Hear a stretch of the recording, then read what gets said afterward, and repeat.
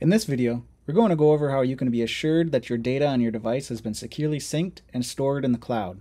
Once you open your project, and before you've done any data collection at all, you will see a green arrow at the top right hand corner of the project home screen.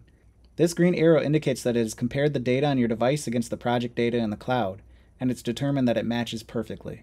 Once you start collecting data on your device, this arrow will turn yellow, indicating that you now have data on your device that no longer exactly matches the data in the cloud the last time it checked. If you are not connected to the cloud, it will remain yellow, indicating that the data on the device has not yet been pushed to the cloud and the data match comparison function has yet to occur.